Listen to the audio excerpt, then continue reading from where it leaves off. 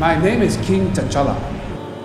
And for the first time in our history, we will be sharing our knowledge and resources with the outside world. What you guys have is gonna scare a lot of people in that room. They're gonna come after you. Yes. But I will no longer rule out of fear. I've seen men build weapons. I've seen aliens drop from the sky. But I have never seen anything like this. How much more are you hiding? America takes what it wants.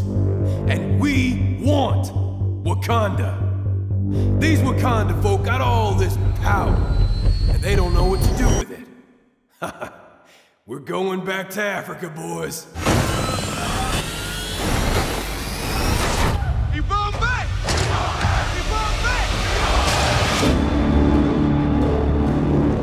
Black Panther has been the protector of Wakanda for generations. The mantle passed from warrior to warrior.